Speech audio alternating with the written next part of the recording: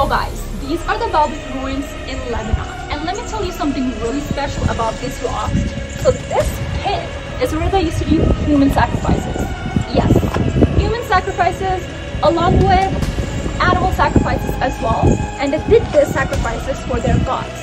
So, you know, for the Roman gods. And this is what the pit is about.